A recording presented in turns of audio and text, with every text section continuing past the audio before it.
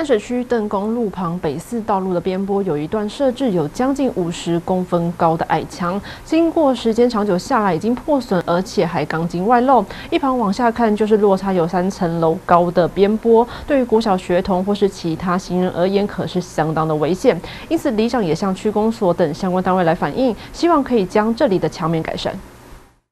在淡水区邓公路旁北四道路边坡，有一段将近设置有五十公分高的矮墙。李长说，这一片墙是属于过去数十年前社区在新建时所盖，经过时间长久下来，已经破损，而且还钢筋外露。一旁往下看就是落差有将近三层楼高的边坡，对于国小学童或者是其他行人而言，可是相当危险。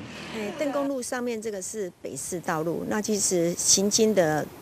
的车辆跟人都还蛮多的。那这个在这个靠近右边的这一个坡坎下面就是泰隆社区跟博园，那因为它的高度只有五十公分高，那有一天小朋友其实在那边吵闹。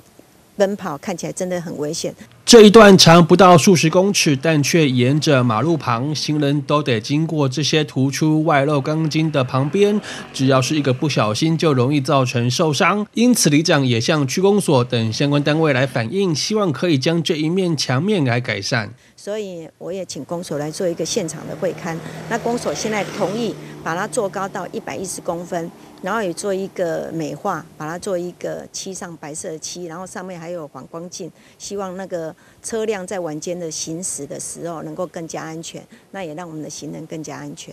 里长表示，日前有会同区公所前来会勘，而公所也同意进行改善。里长未来希望可以将墙面加高到一百一十公分。除了将外露钢筋移除，还可以避免行人坠落边坡，而且在墙面加设反光设施，让经过的车辆可以清楚看到，增加行人与车辆的安全。记者许端一带去采访报道。